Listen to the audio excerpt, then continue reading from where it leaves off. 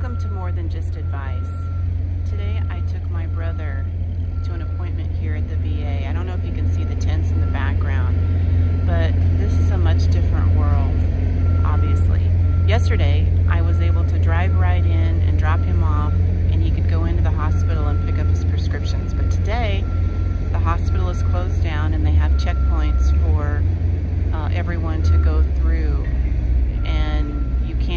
can't really even get close to the hospital with your vehicle. I just wanted to do a quick shout out and recognize all of those healthcare workers that are literally on the front line trying to help us keep keep well and, and, and safe.